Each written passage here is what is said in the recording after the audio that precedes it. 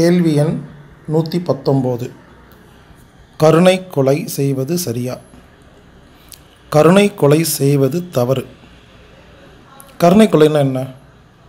யாராவது நோயினாலேயோ மனக்குழப்பத்தினாலேயோ தாங்க முடியாத வலியோ வேதனையோ அனுபவிச்சுட்டு இருந்தால் இந்த வலியும் வேதனையும் தாங்கிறதுக்கு பதுவாக உயிரை விடுறதே சிறப்புன்னு முடிவெடுத்து அவரை கொலை செய்கிறதுக்கு பேர் தான் கருணை கொலை.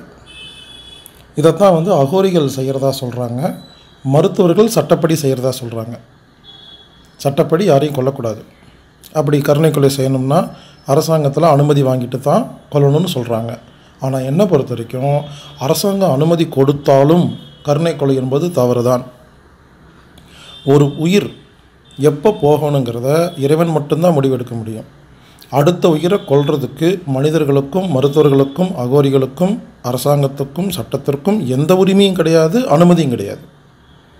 ஒரு வேளை ஒரு மனுஷன் வந்து வழி தாங்க முடியாமல் வேதனையோடு இருக்காருன்னு வச்சுக்கங்களேன். அவராக முடிவெடுத்து அவர் மனசுக்குள்ளே இந்த வழியை தாங்கிறதுக்கு நம்ம பேசாமல் இறந்துடலாம் அவர் முடிவெடுத்து அது சப்கான்ஷியஸ் மைண்டில் ரெக்கார்ட் ஆனால் அந்த உயிர் தானாக போயிடும் அது அவங்க தான் முடிவு பண்ணணும். கர்மா தியரி அப்படின்னு யூடியூப்பில் பேசியிருக்கேன். அதை நீங்கள் கொஞ்சம் கேளுங்களேன். உங்களுக்கெல்லாம் புரியும். ஒருத்தர் உயிர் போக போகாமல் வலியோட துன்பத்தோட அவஸ்தைப்படுறாருன்னா அது என்ன அர்த்தம்னா அவருக்கு அதை அனுபவிக்கணுங்கிற விதி இருக்குது இல்லை அவர் வந்து நம்ம சாகக்கூடாது அப்படின்னு நினச்சிட்ருக்கிறாரு. உயிர் எப்படியும் காப்பாதுன்னு நம்புகிறாரு அவர் நம்பிக்கையை நாமே ஏன் கெடுக்கணும்? அவரை சாகடிக்கிறதுக்கு நாம யார்? நம்ம கடமை என்ன தெரியுமா? அந்த மாதிரி வேதனைப்படுறவங்களுக்கு நாம் நம்மளால் ஆன உதவி செய்யணும். சிகிச்சையை செய்யணும் பணிவெடியை செய்யணும்.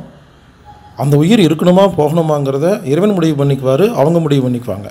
நமது பணி நம்மளால் எவ்வளோ முடியுமோ என்ன தெரியுமோ அதை செஞ்சுக்கிட்டே இருக்கிறது மட்டும்தான் வேலை அதையெல்லாம் செஞ்சு அவங்க குணமான நம்ம பெருமைப்படக்கூடாது.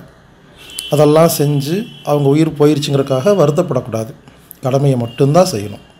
இதுதான் சிறப்பு. அதனால் பணிவிடை செய்கிறத மட்டும் செய்யுங்க.